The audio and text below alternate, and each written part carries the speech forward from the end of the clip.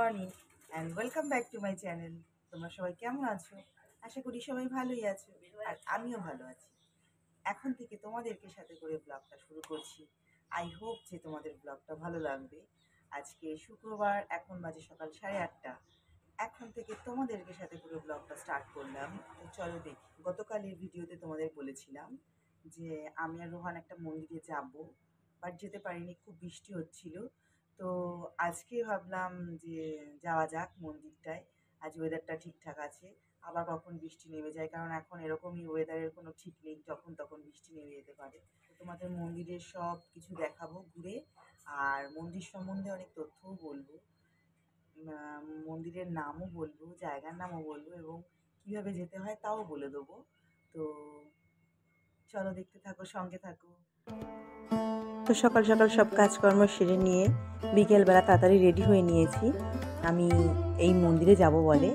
আমি একা নয়, আমি আর রোহান, আমার চিরসঙ্গের সাথী, আমার জায়ের ছেলে মানে আমার ভাসুরের ছেলে রোহান। আমি যেখানেই যাই, ও আমার সাথে যায়। যাই হোক, আমাদের বাড়ি থেকে আমরা যেখানে যাচ্ছি, সেই মন্দিরটা খুব বেশি দূরে নয়। মাত্র পনেরো মিনিট সাইকেলে, বাইকে পাঁচ মিনিট, টোটোতে দশ মিনিট। আর স্টেশন থেকে তুমি অটো, টোটো যে কোনো কিছুতে তোমার পাঁচ সাত মিনিটই টাইম লাগবে। খুব বেশি দূরে নয়। আমরা খুব লাকি যে আমরা এই মন্দিরের খুব কাছেই থাকি। আমাদের যখন ইচ্ছা হয় আমরা এখানে চলে আসতে পারি বাট খুব একটা আশা হয় না। তো আজকে তোমাদেরকে দেখাবো বলেই স্পেশালি এই মন্দিরে যাওয়া। এই মন্দিরের নাম হচ্ছে কুলিয়াপাঠ মন্দির। এখানে অনেক বড় অপরাধ ভঞ্জন মেলা। এখানে অনেক দূর দূরান্ত থেকে তীর্থার্থীদের আগমন হয়। এবং পনেরো দিন ধরে এই মেলা চলে। পৌষ মাসের দুটো একাদশীতেই এই মেলা হয়। প্রথম একাদশীতে বেশি ভিড় হয় আর পরের একাদশীতে ভাঙা ভাঙা মেলা থাকে। কারণ এই মেলাটা ভেঙে পঁচিশে ডিসেম্বর খ্রিস্টান চার্চে চলে যায়। তাই তখন মেলাটা একটু কম থাকে। কিন্তু প্রথম একাদশীতে প্রচুর ভিড় হয়, প্রচুর তীর্থার্থীদের এখানে আগমন হয়। আমরা চলেই এসেছি প্রায় মন্দিরের কাছাকাছি। টিডিকে একটা কোম্পানি আছে, সেই কোম্পানিটা পার করলেই মনে করবে তোমরা চলে এসেছ এই মন্দিরের কাছে। আমাদের বাড়ি থেকে মাত্র পনেরো মিনিট টাইম লাগে, খুব একটা বেশি টাইম লাগে না। আর আজকে আমি আর রোহান সাইকেলে করে এখানে এসেছি। এই যে, এটা হচ্ছে প্রবেশদ্বার এই মন্দিরের। ভিতরে ঢুকেই যে মানে এরিয়াটা দেখতে পাচ্ছ, এই এরিয়াটাতে বিশাল বড় মেলা বসে। এবং আমি যদি ওই মেলার টাইমে এখানে আসি, তো অবশ্যই তোমাদের ওই মেলাটা শেয়ার করব। এখন যেহেতু মেলা নয়, এখন ফাঁকা সময়, এসছি যেহেতু একটু ভালো করে ভিডিওটা বানাবো বলে। এই মন্দিরের একটা পৌরাণিক কাহিনীও আছে। আস্তে আস্তে আমি তোমাদের সবই বলব।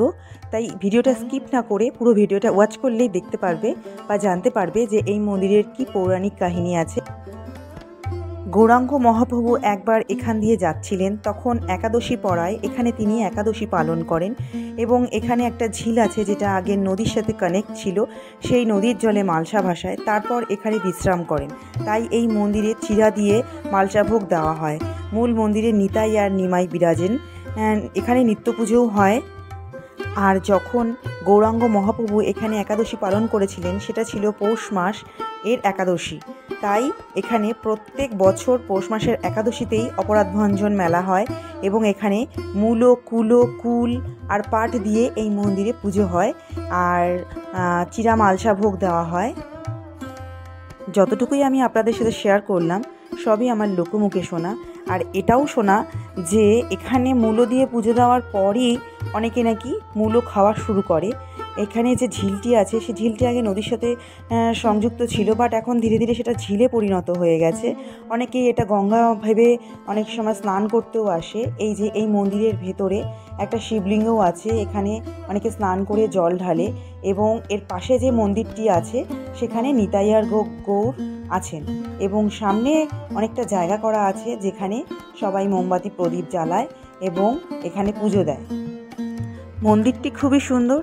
যদি আপনারা কখনো এখানে আসেন, তাহলে দেখলেই বুঝতে পারবেন যে কতটা শান্তি এখানে আসলে পাওয়া যায়।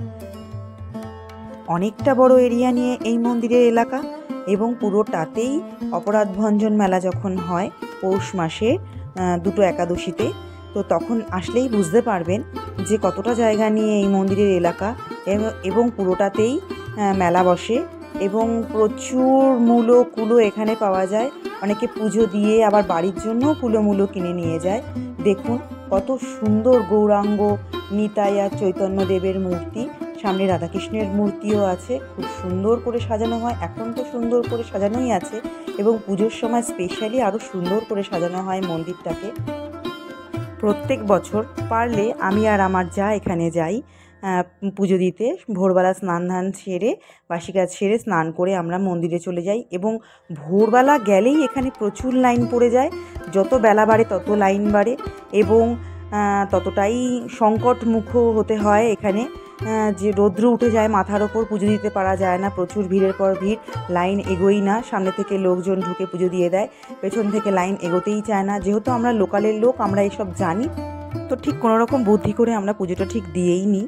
তো ফার্স্টে মন্দিরে মালসা ভোগ দিয়ে মানে চিরা দিয়ে মালসা ভোগ পুজো দেওয়ার পর আমরা এখানে আসি। এটা একটা শিউলি গাছ। এখন দেখতে এরকম মনে হচ্ছে বাট তখন পাতাও হয়। আর এখানে সবাই ঢিল বেঁধে মানত করে। আর এই যে মন্দির দুটো দেখছ, এখানেও সবাই ধূপ দ্বীপ জেলে পুজো দেয়। বলা হয় যে এখানে পুজো দিলে নাকি অপরাধ ভঞ্জন হয়। আর এটা হচ্ছে অপরাধী চাঁদপাল গোপালের সমাধি। তো এখানেও সবাই ধূপ দ্বীপ জ্বালে শ্রদ্ধা সহকারে পুজো দেয়। এর পাশে আর একটি মন্দির আছে, এখানেও সবাই ধূপ দ্বীপ জ্বালে পুজো দেয়।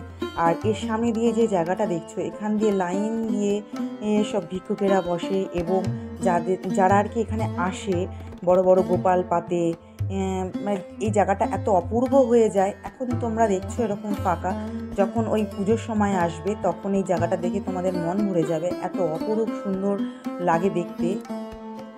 আর মন্দিরের বাইরেটা থেকে মন্দিরটা দেখতে অনেকটা এই রকম লাগে, এখন আপনারা যেমন দেখতে পাচ্ছেন। আর এই যে সামনে জায়গাটা দেখছেন, এখানে সবাই বিশ্রাম করে ওই পুজোর সময়। এমনিও এখানকার লোকালের ছেলেপেলেরা এসে এখানে আড্ডা দেয়। যেহেতু জায়গাটা সুন্দর আর এখানকার পরিবেশটাও মনোরম, এই যে আমি যাচ্ছি, আপনাদের যে ঝিলের কথা বলেছিলাম, সেই ঝিলে। এখানে আমাদের লোকালে যত ঠাকুর আসে, সব এখানেই বিসর্জন হয় এবং যত বিয়ে, অনুষ্ঠান, অন্নপ্রাশন, সবাই এখানেই জল ভরাতে আসে। আমরাও আসি আমাদের বিভিন্ন রকম অকেশানে এখানে জল ভরাতে। আর এখানে এসেছি জলে জল স্পর্শ করব না, এটা কখনো হতে পারে না, তাই আমি একটু এখানে জল স্পর্শ করে নেব। এখানে আসলে সত্যি সত্যি মনটা ভীষণ ভালো লাগে। যদিও আজকে আমি আর রোহান এসেছি, সবার সাথে আসলে আরও বেশি ভালো লাগতো। এখানকার ওয়েদারটা খুবই সুন্দর, দেখো আশপাশের পরিবেশ, পরিবেশটাও ভীষণ শান্ত এবং মনোরম। এই যে দেখতে পাচ্ছ, এখানে বিজলি মায়ের স্নানের ঘাট, এই যে পরপর পরপর এক একটা রো করে করে ঘাট করা আছে। এখানে বিভিন্ন রকম মহান ব্যক্তিদের স্নানের ঘাট ছিল আলাদা আলাদা এবং আশপাশে খুবই সুন্দর একটা পরিবেশ। এই ঝিলটার ওপারে একটা নতুন পার্ক হয়েছে। আমি শুনেছি, বাট কখনো যাইনি। শুনেছি খুবই সুন্দর তৈরি হয়েছে নাকি? যদি পারি কখনো সেখানে যাব। তো তোমাদের সাথে ভিডিও শেয়ার করব। এখানে আসার আমার ভীষণ ইচ্ছা ছিল। তোমাদের সাথে ভিডিও শেয়ার করার ভীষণ ইচ্ছা ছিল। এখানে এসে আমার খুব ভালো লেগেছে। তোমাদের কেমন লেগেছে কমেন্ট বক্সে অবশ্যই জানাবে।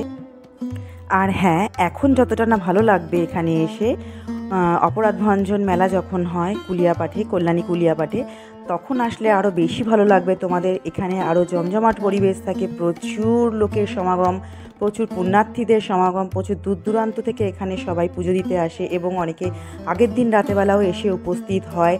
এখানে প্রচুর বড় কীর্তন চলে, রাত সারা রাত ভোর এখানে ভোগ খাওয়ানো হয়। এখানে আসলে অবশ্যই সবার ভালো লাগবে। অনেক বড় মেলা বসে। প্রচুর জিনিসপত্র পাওয়া যায়। মানে এখন যে সমস্ত মেলা হয় সেখানে জানা পাওয়া যায়। এখানে সব রকম আসবাসপত্র পাওয়া যায়। লোহা, কাঠ, সব ধরনের সব কিছু পাওয়া যায়। অবশ্যই তোমরা একবার এই অপরাধ ভঞ্জন মেলায় এসে ঘুরে যেও কল্যাণী কুলিয়া পাঠে। তো আজকের ভিডিও এতটাই। যদি তোমাদের ভিডিওটাতে কিছু ভালো লাগে like comment share follow and subscribe করো। আবার তোমাদের সাথে দেখা হবে নেক্সট ভিডিওতে। ততক্ষণের জন্য টাটা বাই বাই